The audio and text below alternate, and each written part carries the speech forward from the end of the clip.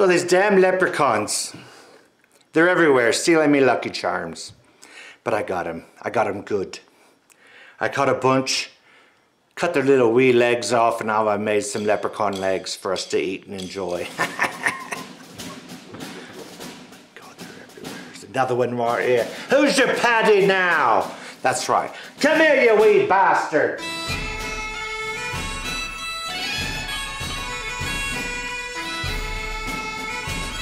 The first step in any Irish fair is a little shot of whiskey. Bottoms up. Mm. Well, now we can get started, can't we? This is wee leprechaun legs, isn't it? Let's season them up. So first, garlic salt, onion powder, and some good old Lawry's.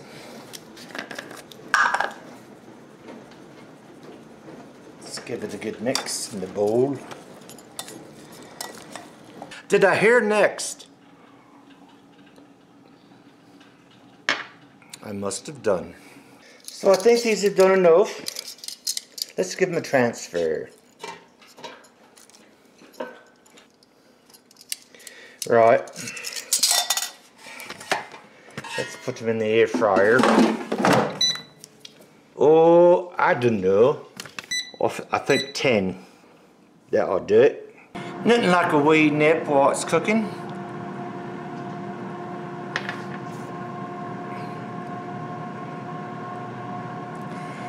This recipe is going to shamrock your world. So since this is for St. Patty's Day, let me tell you how I'm going to make them green. Olive oil, spinach, and parsley. That's all. A touch of salt. Once they're cooked, I'm going to toss them about in the air. And we got us some good fare, don't we? Have you ever heard the saying, when Irish eyes are smiling? Do you know what it means? They're up to something. Cheers. Well, look at the wee leprechaun legs. Let me give them a turn. Go for 10 more. Oh, oh, blimey, that's my timer. What's the time for? I'll thank you now. Drink. Hmm. Oh wait, that was me leprechaun legs, wasn't it?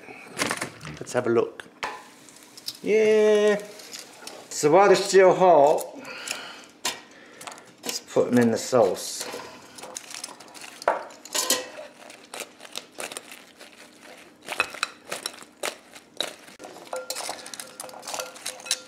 Let's give these legs a plate. Would you just look at these wee Irish beauties. Leprechaun legs, Irish style. Hope you give them a try.